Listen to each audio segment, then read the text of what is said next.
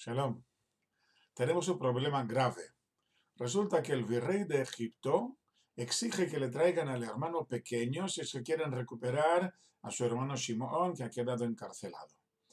Cuando intenta convencer a su padre para que le, le permita llevarse a Benjamín consigo, le dice Yehudá a Jacob, yo me haré responsable de él, de mi mano lo demandarás.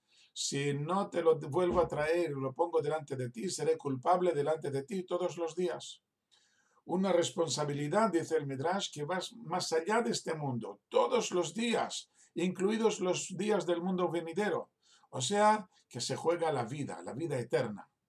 En realidad, esta responsabilidad que demuestra ayuda sobre su hermano, deberíamos demostrarla con cualquier hermano nuestro, muy especialmente con aquellos que no pueden valerse por sí mismos.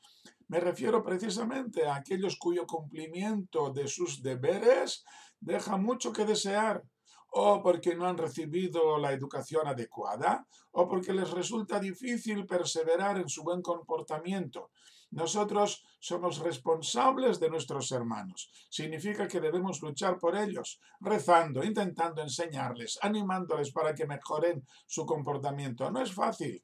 La expresión, la expresión hacerse responsable en hebreo viene a decir en realidad que mi alma está mezclada con la suya, que somos una sola identidad repartida en dos cuerpos.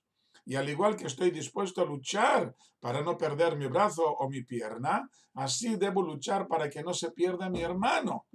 Lo hacemos en nuestras oraciones, lo hacemos al regalarles una sonrisa, una palabra de aliento, un buen consejo. Shalom, shalom.